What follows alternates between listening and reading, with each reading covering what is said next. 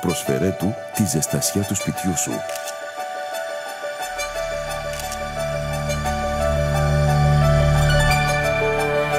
Αξίζει μια δεύτερη ευκαιρία. Αξίζει την αγάπη σου.